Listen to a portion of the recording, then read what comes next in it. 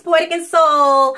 We are doing an intro for the 50 Shades of Pannin. 50 Shades of Pannin is a Pannin project that goes from September 10th to December 10th.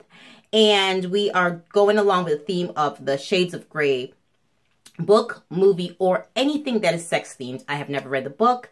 I have not watched the movie, but I knew, do know about sex. So we are going to do something sex themed.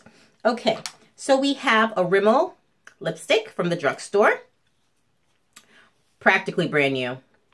As you can see, just brand new. I've only worn it once, and that was last night um, when I was choosing the products, okay? So the name of this lipstick is Metallic Seduction. So that's why we chose that one. Um, Derek Lam's perfume in 2 a.m. Kiss. What happens at 2 a.m. with Kiss. I think you know. Um, Urban Decay's mascara in uh, Perversion. That's that. This lip palette from MAC.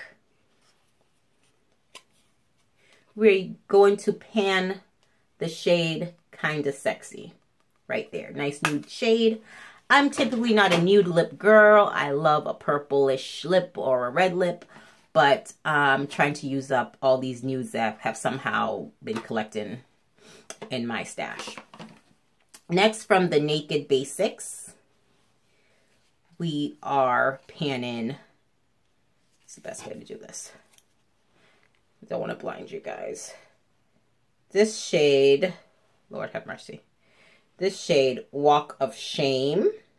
And we all know what the walk of shame is. That is when you have left someone's house the night before and you were walking back to the car and everyone's looking at you like, ooh, girl, we know what you just did. We know where you're coming from. That's the walk of shame. Those are my five products for the 50 Shades of Pannin. I hope to hit pan on the lipstick and the eyeshadow by December 10th, I will do a monthly update to show you guys where I am. I think um, I'll be able to finish the perfume since it's just a sample size and the mascara. And that's it. Tell me what you are doing in your Pannin projects lately. Are you overwhelmed by your Pannin products? What are you up to? Let me know below. This is Poetic and Soul. Stay beautiful inside and out. And always keep the poetry in your soul. I love you guys. Bye.